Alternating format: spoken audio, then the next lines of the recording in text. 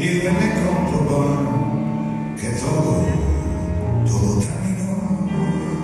El gran error, volverte a hablar para llevarme destrozado el corazón.